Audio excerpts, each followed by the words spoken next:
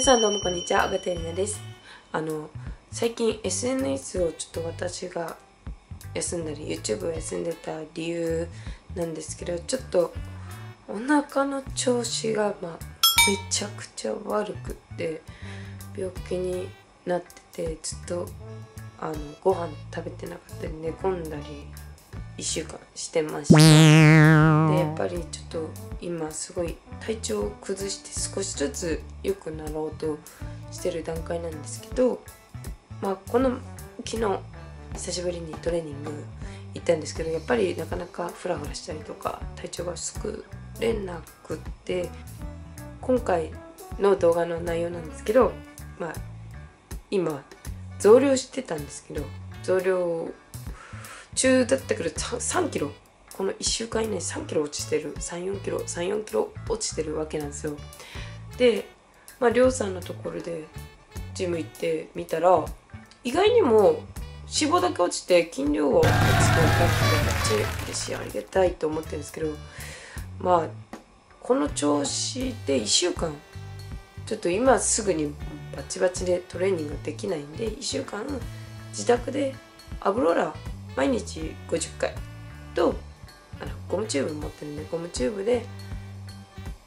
カニサウナってあるじゃないですか。こう足の鍛えるやつ。などを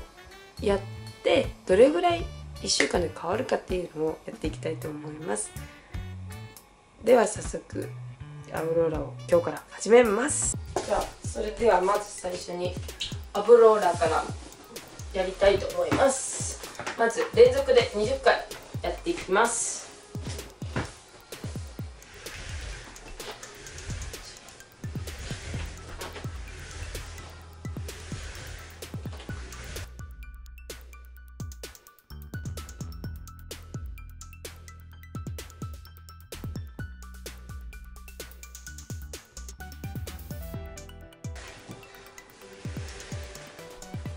よし30回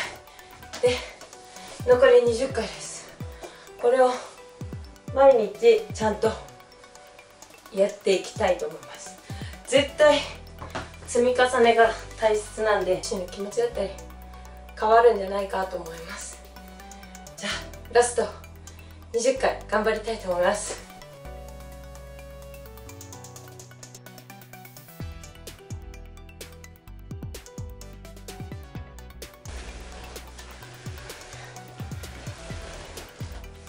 よし50回やっ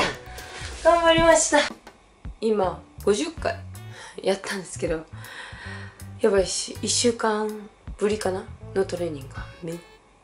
ちゃきついですね。まあ昨日トレーニングやったんですけど